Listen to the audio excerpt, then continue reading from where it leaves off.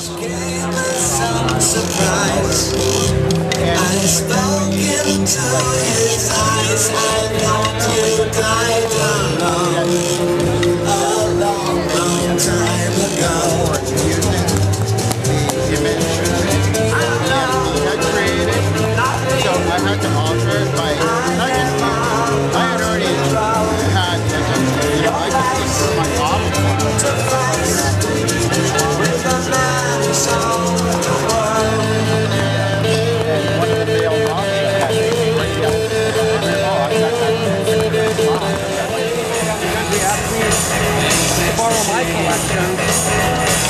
And,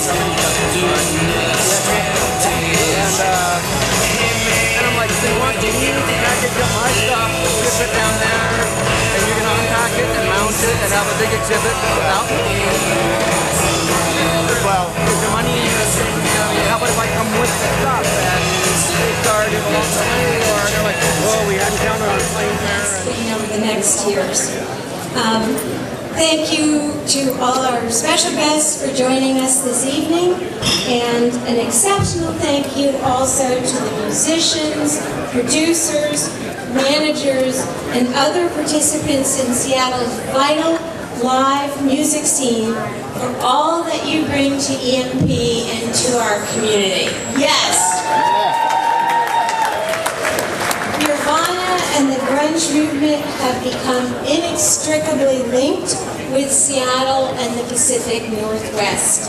Today, nearly 20 years since the release of Nevermind, the influence of Nirvana and the grunge movement is still felt, having indelibly changed the popular land, music landscape, underscoring the vitality of regional music scenes and creating positive attitudes toward underground music. That's a great set of contributions, besides their own fabulous music.